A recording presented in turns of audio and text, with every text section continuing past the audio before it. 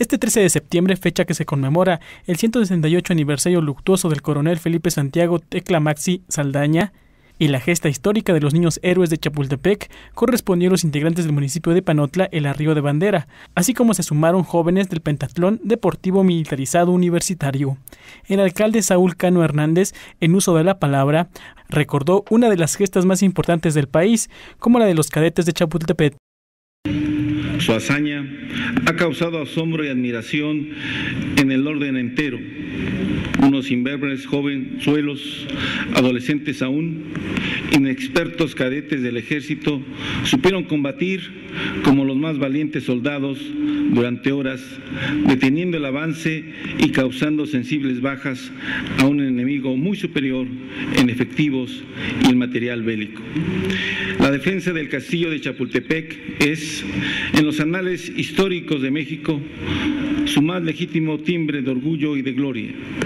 Los Escutia, los Montes de Oca, los Vicente Suárez y sus compañeros dieron un ejemplo al mundo de cómo, no importa qué edad y en cualquier condición, debe defenderse el suelo en el que se ha nacido y el territorio en el que ondea la bandera nacional.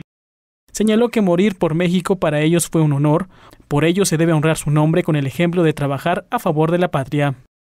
Hoy 168 años después, como nación, nos enfrentamos a enemigos poderosos y letales, no a unos de barras y estrellas, ni de fusiles y cañones.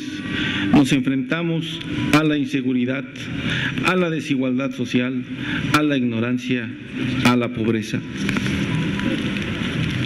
Pero también hoy nuestro país y nuestro Estado cuenta como nunca antes en la historia con la mayoría, con la mayor cantidad de jóvenes y aunado a ello, estamos también nosotros, los adultos, los ancianos, porque la juventud no es cuestión del cuerpo sino del espíritu.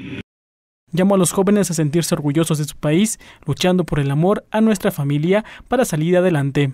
Leonel López, Sistema de Noticias,